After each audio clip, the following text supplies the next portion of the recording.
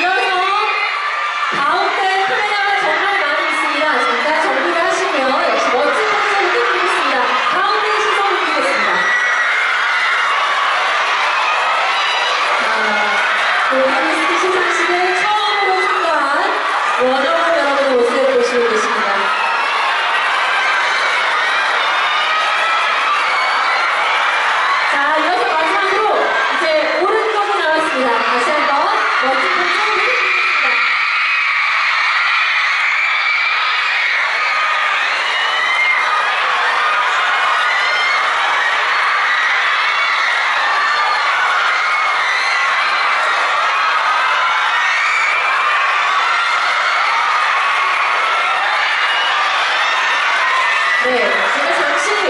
잠시 마이크를 좀 가져가 드리겠습니다. 자, 우리 사-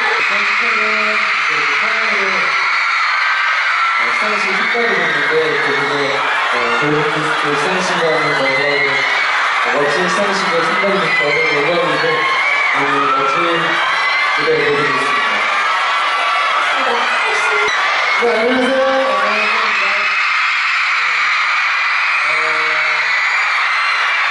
네, 제가 사실 어, 여기 옆에 집이 있어요.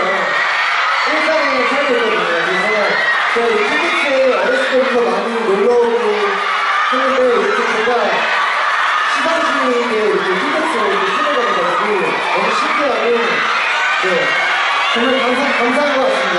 열심히 하는